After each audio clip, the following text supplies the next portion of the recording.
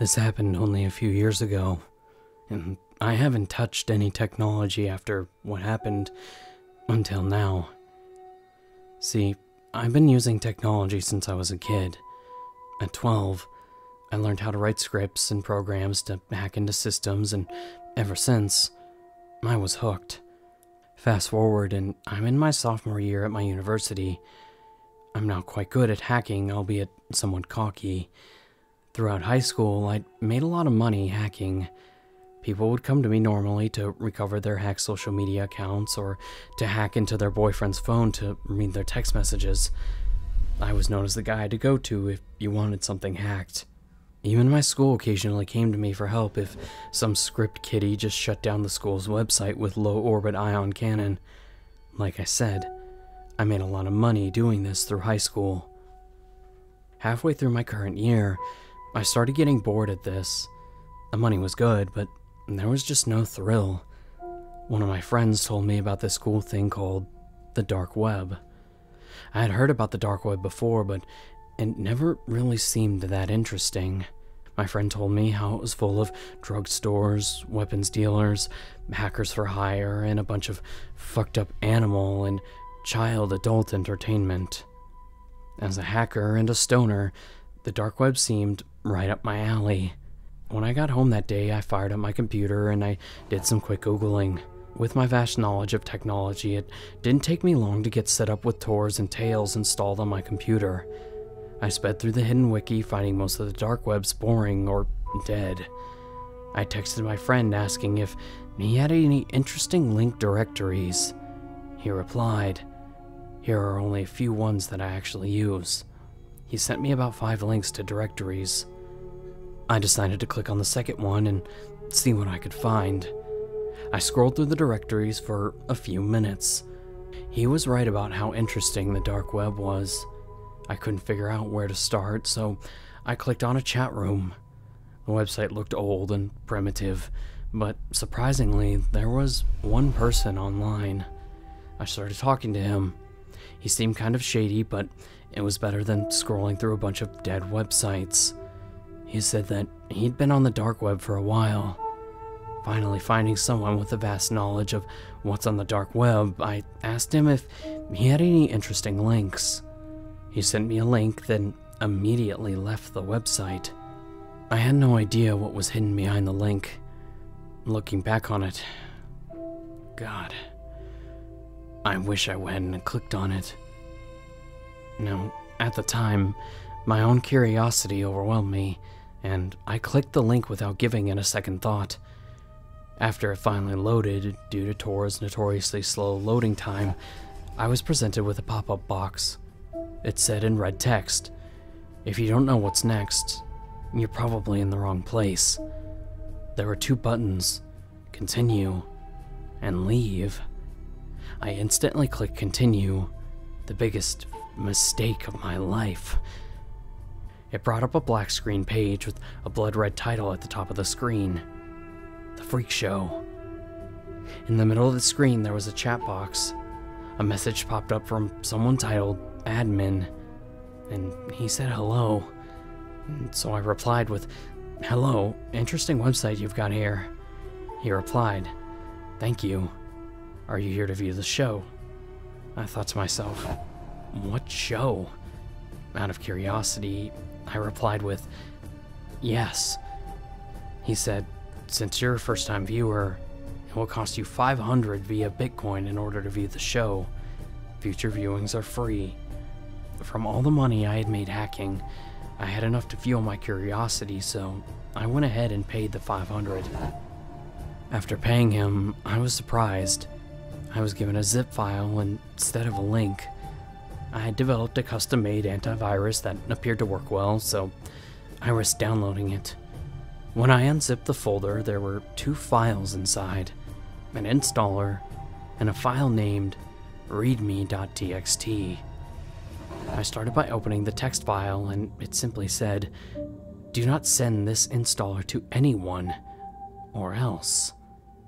I went ahead and closed the text file and opened the installer. It took about 15 minutes to install, which was strange for my computer. After installing, it opened up automatically. Across the screen, it said, Hello, welcome to the Freak Show. We use a custom program for our streams instead of live streaming on Tor due to Tor being too slow. We also need the extra security. After about 10 seconds, the screen changed to a countdown with the chat room next to it. At this point, I was starting to feel that whatever happened next would not be good. The next timer displayed that there were 30 minutes until the next stream started. I set my screen name to James Kent 157. Not my real name, but I needed an alias. I said hi in the chat, but was ignored. I waited the 30 minutes, and after the timer hit zero, a video feed began. On the screen, there was a guy in a mask with three people side by side in front of him. He started speaking with a voice changer to mask his voice. He said, Welcome to the 26th stream of The Freak Show. We're happy to see all of our old viewers and a few new ones. We will now randomly choose who gets to choose who to kill first and how to kill them. At that point, I realized I was fucked. I was in too much shock to close the window. I watched as the feed turned into a bunch of names scrolling by it until it landed on someone named Gore725. I watched as he made his commands. First, stab him in the kneecaps and cut off his fingers. After that, gouge out his eyeballs. When that's finished, drill into his stomach and to finish him off, burn him with hot metal. I watched as the sicko did all of this. I watched as the victim screamed in pain. After everything was done, he said, Now for the next one. After he said that, I snapped out of it and went to close the page. When I clicked on the exit, said, Sorry, no leaving midstream. I was trapped. The wheel popped up again, but this time it landed on me. I couldn't respond. Instead, I typed in the chat, You sick fucks, why are you doing this? I was met with all the people in the chat calling me names like pussy, dumbass, retard. I then said, I'm calling the police. I shouldn't have said that. The man of the stream then stated out loud, Call the police, and you'll be on next week's stream. Logan. That made my heart freeze. He knew my real name. He then continued to state out loud my parents' names, my address, school, age, and IP. I immediately went to Task Manager to close Tor and the program. As soon as Task Manager opened, it said, not responding. The man then stated, Don't try that in chat. I pulled the plug on my computer without a doubt. My screen went black. I frantically ran to my parents' room and told them everything that happened and told them that we needed to move away. They believed my story and called the police. The police took care of everything and put us under police protection. Within a few months, they found the website owner. He was a 32 year old man who lived off the combination of welfare and the money he made from the Red Room. It was many years later before I finally started using technology again. The dark web is an abyss of terrible things. If you're smart, you'll stay on the surface web. But I can't control what you do.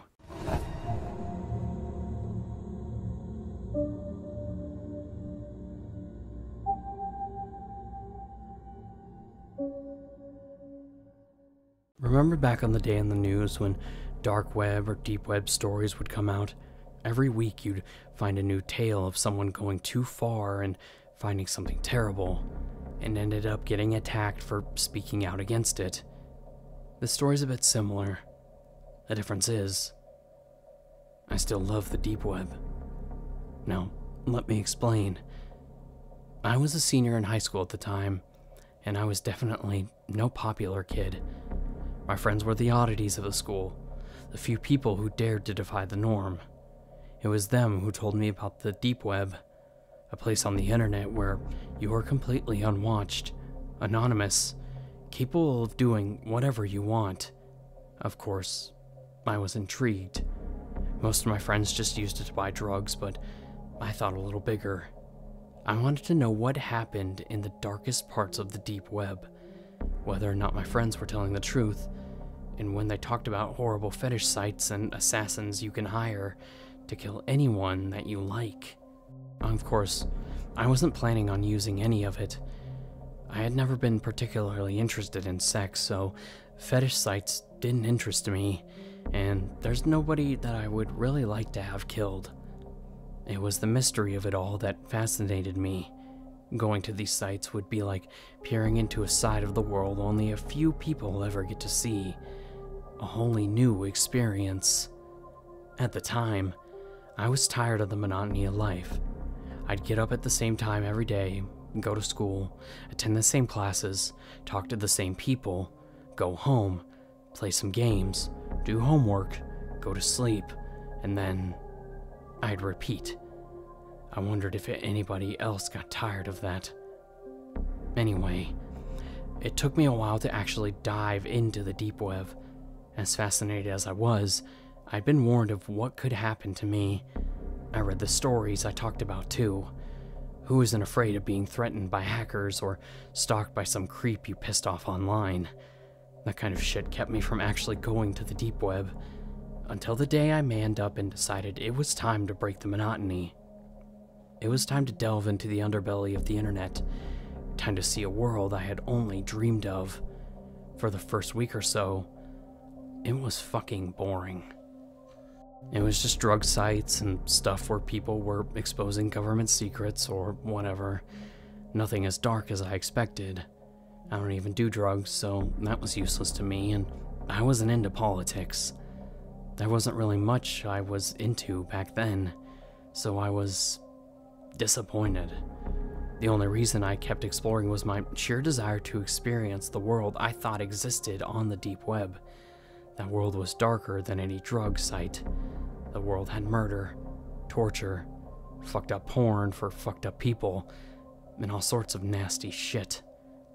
And I eventually got my wish. Just when my apathy towards the deep web got to its highest point, I found what I was looking for. The site didn't have a name. I thought it was a broken link for a bit since it only led me to a black screen. Right before I could click out, however, a chat box opened on the screen.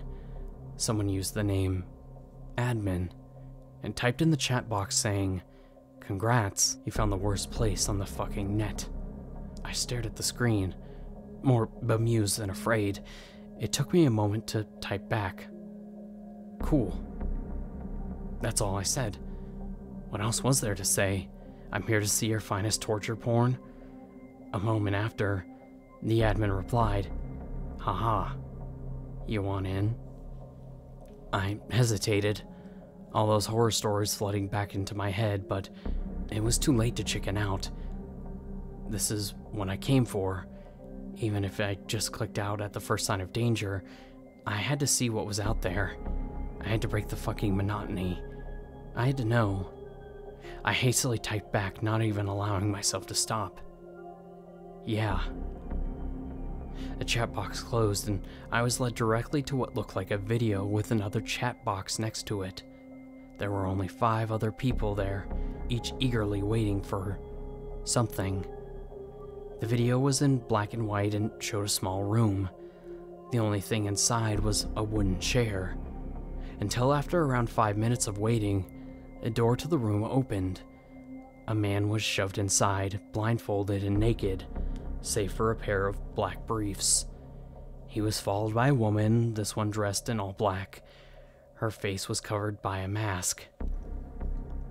In an instant, the chat room went wild. I almost closed the window to spare myself, knowing immediately where this was going. But again, I told myself that this is what I wanted. Maybe not the torture, but the window into the worst parts of the world. The woman pulled out a sign and hung it around the man's neck. It read a name Logan. That didn't mean anything to me, so I just continued to watch as she pulled out a knife from her pocket and cut off the man's blindfold as she shoved him into the chair. He didn't struggle for a moment, but once his eyes were visible, I could see why. It looked like he had been drugged. Resisting was impossible. I frowned, glanced to the side. This was fucked up. I knew this was fucked up.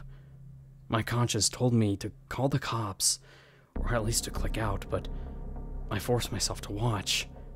She turned to the camera and pointed the knife at the man's throat. One of the people in the chat typed, one of his fingers. Cut off one of his fingers. I clenched my hands into fists, taking in a sharp breath. Was this really fucking happening?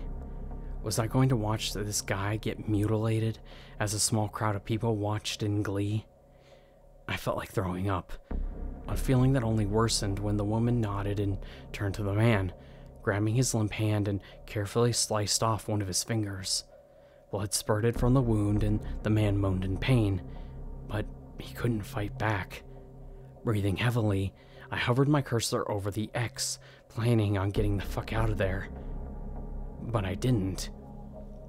The woman looked unimpressed, as if she thought the people in the chat could do better. Another person called for a slice of the man's arm, and she complied. He was bleeding heavily now, clearly in deep pain, but these people.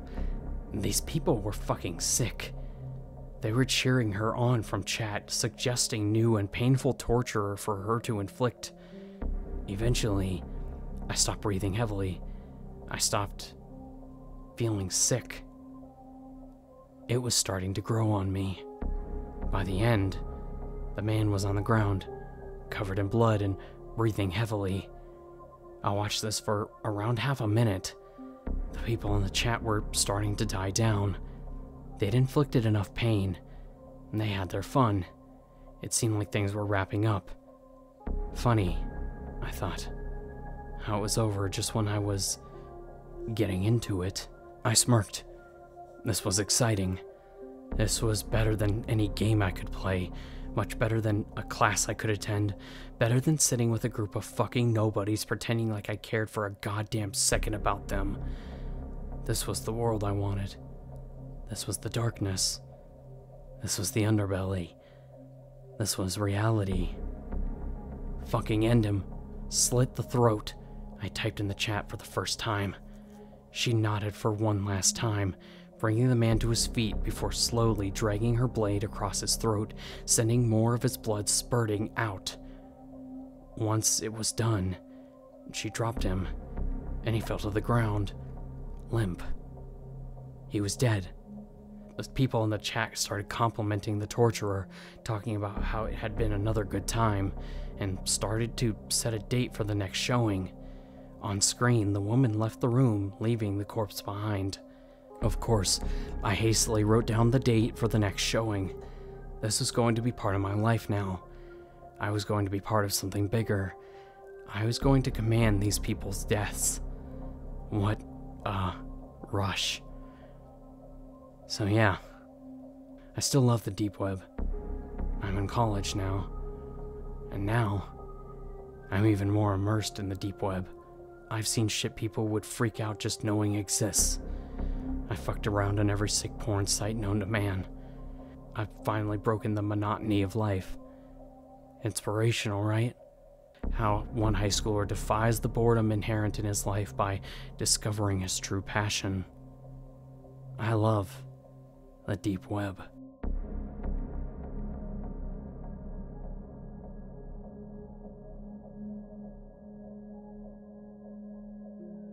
One of the hottest trends on YouTube right now is ordering these random mystery boxes from complete strangers on the deep web and opening them on camera. I don't know why I didn't realize a clear majority of these videos are fake and staged with their scare factor, but I didn't. I thought it was a great idea and hopped on the bandwagon to claim my YouTube stardom that I desperately longed for.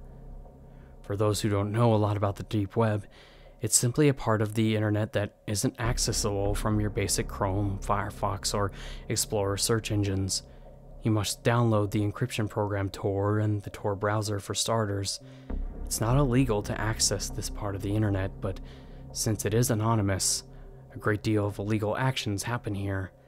The possibilities are endless.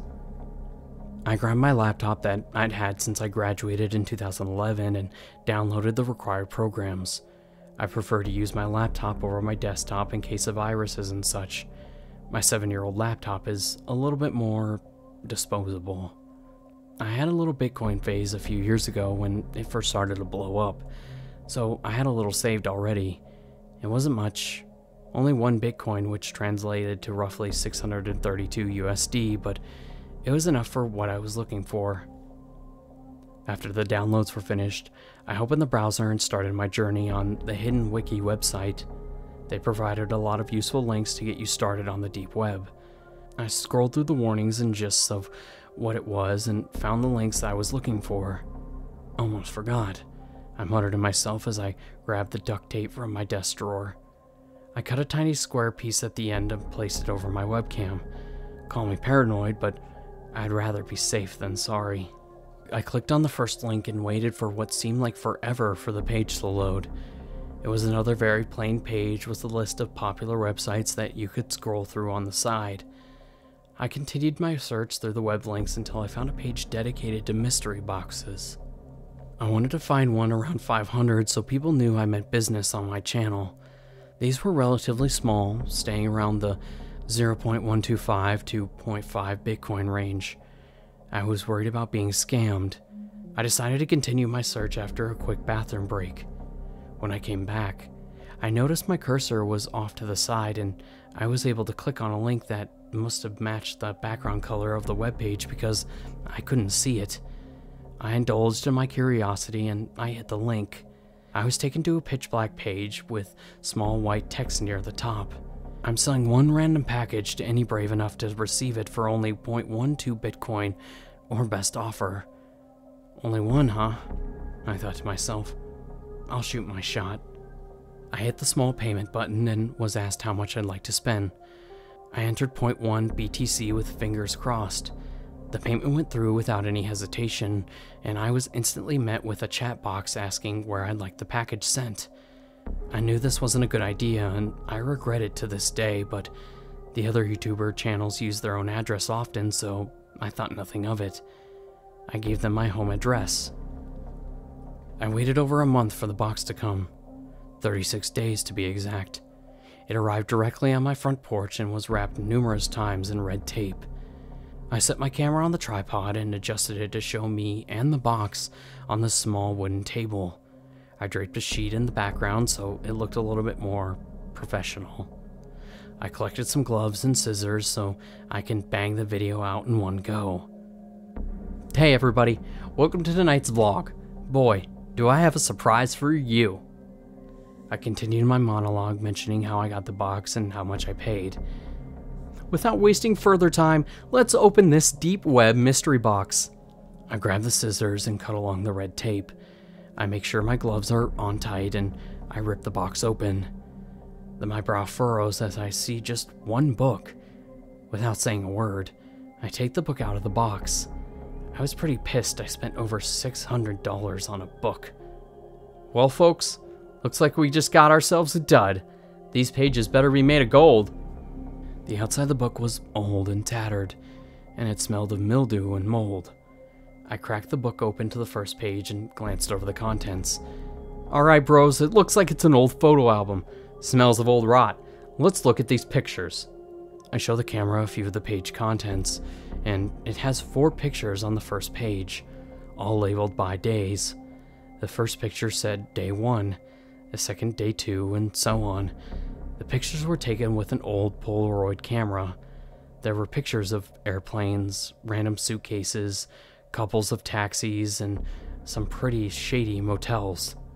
These really do look like someone's old travel photos. I continued flipping through the pages.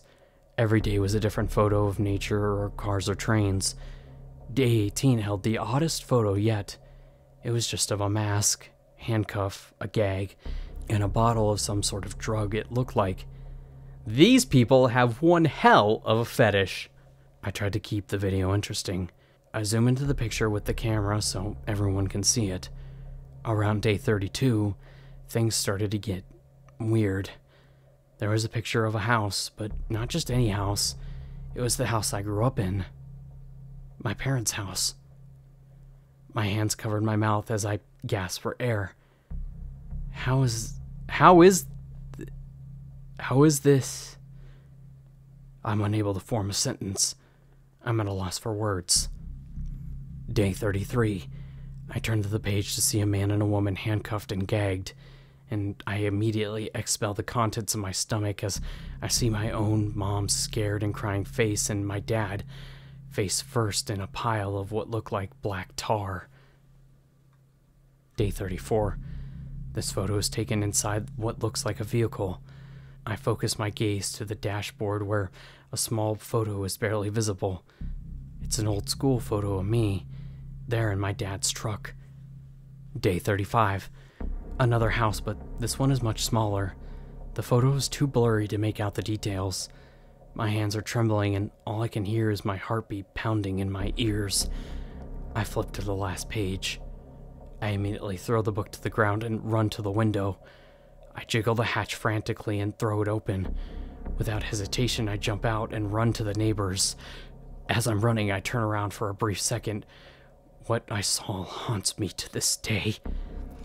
A tall, hooded figure stood in my room, looking at me through the window.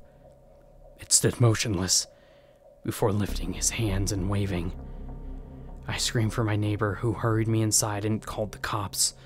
I sat and I just cried. I cried out of fear for my life.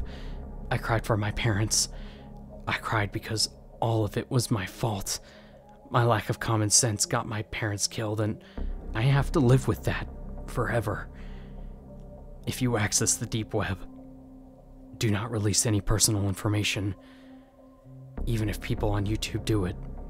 Most of it's not real, and always check your boxes. It would have saved me a lot of trouble if I would have noticed the box I received had no tracking sticker on it. It was hand delivered.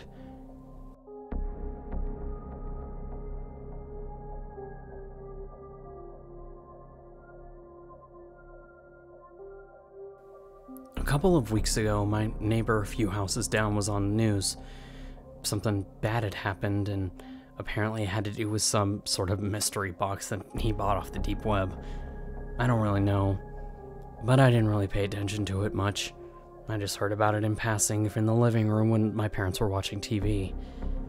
I had actually downloaded a Tor browser a long time ago to use the deep web, but never ended up using it. After seeing the story on the news, though, I got curious and decided to take a look at the websites on the deep web. There was just a bunch of messed up porn and such, but finally, I found one certain website other than porn and was still sickening. It was a website dedicated to torture and experiments on humans. Some were homeless people that volunteered, while others were people who were unlucky and got caught by these sick fucks. I had seen stuff like Three Guys, One Hammer, so I thought I'd be prepared for what was to happen. Man, was I so wrong about being prepared for this sick shit? When I clicked on a gallery, it showed videos of pictures and videos of people being experimented on. It included humans' reactions without food and water, being shown to extreme pain and torture and other things. After scrolling through the page, I found a gallery with nothing but babies and toddlers. These pictures were so gruesome and cruel that I'm not going to even try to describe it, but I had to resist the urge to vomit. Somehow, I managed to scroll through the whole page, and when I made it to the bottom, a small message box popped up. When text was typed into it, I realized it was a chat box. The text read, Did you enjoy the site? I typed in my keyboard, Who are you? He ignored my question with another question. What was your favorite part of the site? When I asked again, he gave in and told me he was the creator of the site. I told him it was sick and twisted and that I was going to report this to the police. It was a few minutes of silence before he replied. Ah, I see your name is Michael, and you live in Massachusetts.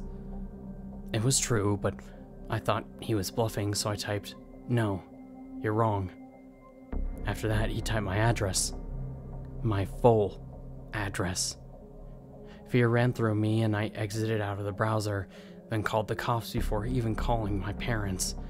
When they made it to my house, they asked me to show them the website, but I had already exited out of it, and unlike a normal browser, it didn't save your search history. The cops then told me calling them was the wrong approach, and if what I had said was true, we should find a place to move to. Luckily, we had already been searching for a new place to move to anyway. I was surprised by how fast my parents were able to sell our house and move into a new one. For a month, I apologized every day for the trouble I caused them, but soon enough, it was like it all had faded away. But I still think about how that guy on that website had gotten my address, and if he was bluffing or not.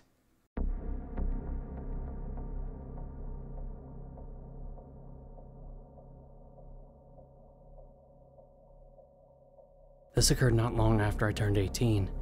My girlfriend had also turned 18 a few days ago, which meant her parents had finally trusted her and I to be alone in the house while they went out for dinner. My girlfriend had always been a fan of horror films and creepy things in general.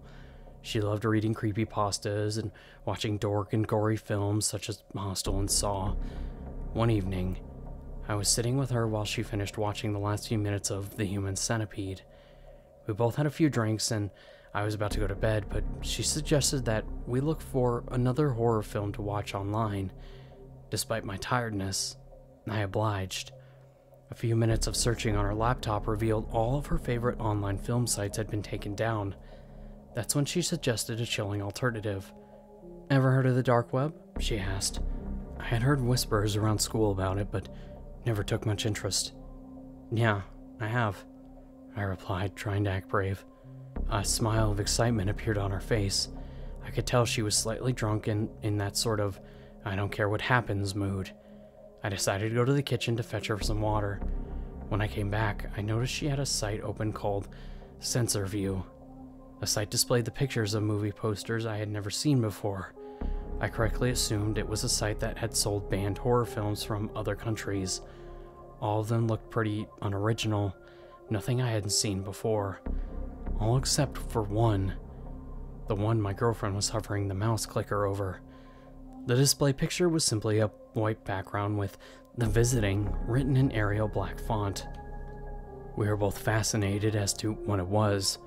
I took out my iPhone and searched for the plot of the film, yet I found nothing. Just a few stupid YouTube videos and irrelevant forums.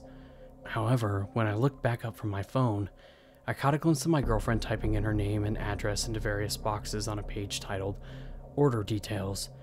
Before, to my horror, she clicked the submit button. I was caught in a stage of anger and shock. I maniacally shouted at her, explaining how dangerous it was to disperse her personal details in such a fucked up place on the dark web. I could see my attempts to correct her were futile, as the alcohol was hitting her hard and she was not paying attention whatsoever. Frustrated, I went to bed deciding I would discuss it with her the next morning. The next morning, she seemed to have a little regret over her actions. She spent the morning explaining to me how she was curious and she was in no danger. She even commented that the experience would be fun. However, I wasn't convinced. She told me not to tell her parents, and fearing they would not trust her to be alone in the house again, I promised not to say anything and headed back home. Three days later, I was visiting her house again. Her parents had gone out to meet with some friends from work for a drink, and we were watching The Exorcist on DVD. During a particularly non eventful part of the film, my girlfriend began joking about how horrified I looked only a few days ago when we were discussing the dark web. She said she had only received a fairly professional looking email confirming the order and nothing else. I began to yield to her argument. Perhaps I was overreacting. It was seriously seconds after our conversation finished that an aggressive knock came from the door. It sounded like it was from two doors, but I dismissed this as an echo. I began to look concerned while my girlfriend began laughing once again at the look of terror on my face. I put on a fake smile as I walked towards the door. It erased clean from my face when I saw who stood outside. A tall, stocky man wearing a ski mask and dark clothes stood in the front door wielding a hammer. I was about to call out to my girlfriend to call the police when a blood curdling scream echoed through the house. I raced back into the room to see my girlfriend pointing at the window facing the garden. An identical man stood in the window, only he was holding a small bat. I grabbed my girlfriend's hand and sprinted up the stairs.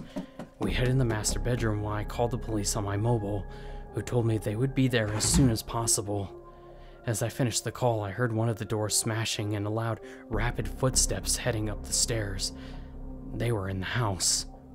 Without thinking, I pushed the window open and told my girlfriend to jump, run, and not to look back. She jumped and landed safely into the grass garden below. I was about to follow, but hesitated, wondering if I could put up a fight and, in so doing, allow my girlfriend more time to escape. It was then that I heard a deep, aggressive voice just outside the door. The man shouted something in a foreign language, whilst I heard laughs from two other men outside. All bravery evaporated, and I jumped, landing harshly on my ankle. The adrenaline racing around my body allowed me to power through the pain, and eventually I caught up to my girlfriend. We were running for what seemed like hours, but in reality, it was most likely just 10 minutes, and we ended up next to the local park, a safe distance away from the house.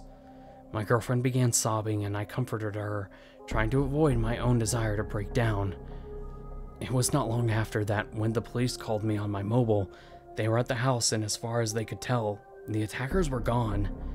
After taking a few minutes to compose ourselves, my girlfriend and I made our way back home. There were three police officers at the house. One was examining each room for any damage or evidence left by the man. One was comforting my girlfriend, and while the other was asking me questions. The shock was clouding my memory. I was only able to tell them a few details about their clothing and the fact that they spoke in an Eastern European language. My girlfriend handed over her phone and computer for the police to investigate, and they left. They advised us to tell the homeowners of the situation, lock up, and suggested that everyone spend the rest of the evening with friends or a relative. So we both spent the night at my parents' house whilst my girlfriend's parents stayed with friends. I remembered my girlfriend crying over the phone while telling them about the situation. They were furious. A few days later, the police visited my girlfriend. It was by luck that I was at her house that afternoon. Their investigation had led them to some disturbing findings. It turned out the visiting was a nickname locals in a small Polish town gave to a number of brutal murders that occurred in the 90s in a local area. The murders were committed by an unknown gang and were initially dismissed as home invasions gone wrong.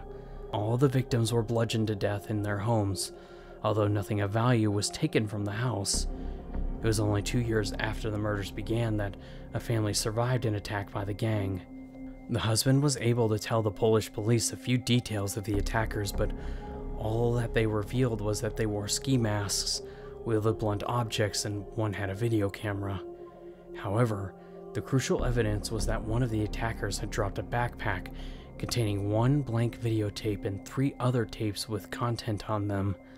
The three tapes showed the horrific murders of the other victims of the attackers. The police came to a shocking conclusion that these men were creating snuff films to be sold to whatever sickos paid enough for them. A nationwide manhunt began, but after years of investigation, nothing was found.